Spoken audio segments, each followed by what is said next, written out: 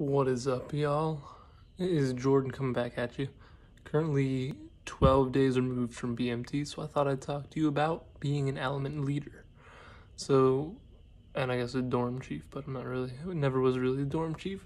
So, basically, an element leader and a dorm chief are the people who will be like running the flights when your MTIs aren't there. You bring them into chow, you like form up and stuff before the MTIs get there, and it's a good job. I was an element leader. I was selected by my MTIs because I volunteered for jobs and stuff and was working hard, I guess. And it was pretty fun to be an element leader. Like every day for chow, you get to like bring your flight in, call cadence and stuff is really cool. They give you these little like journals to like keep track of what went on that day and stuff. So it's cool. You have a little bit more responsibility than everyone else you're held to like a little bit higher of a standard because you're supposed to be like a student leader and stuff.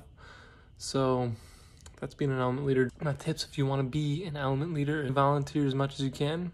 I know everyone's always like, oh, don't volunteer at BMT, just like blend in, but just volunteer. It's fun. You know, you get to do more things other than just like sitting in the back, like not talking. Like some people I never even heard their voice in my BMT class. So if you volunteer, like you, you get to meet more people. Like you get to have more fun, I think, because you're doing stuff instead of just sitting there watching other people do stuff.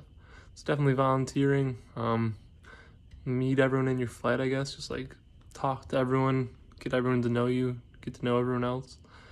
Um, and just like always work your hardest, and you should get selected by either your MTI or your peers can vote on you if they want you to become one. So, yeah, those are my tips to become an element leader. Dorm chief our flight, they just picked the oldest guy, and then that didn't work out. So they picked like someone who was always like on their P's and Q's and stuff. So if you work hard, you're like pretty likely to get it. There's four element leaders, one dorm chief, so five out of like 40 something.